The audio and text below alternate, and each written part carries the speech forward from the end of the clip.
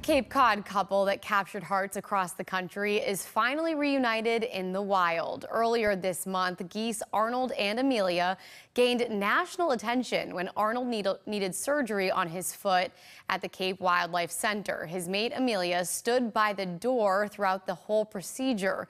The center was able to keep the pair together throughout Arnold's month-long recovery. Last night, Arnold was cleared to be released and has officially reunited with Amelia. The center says they went straight to a nearby pond for a swim.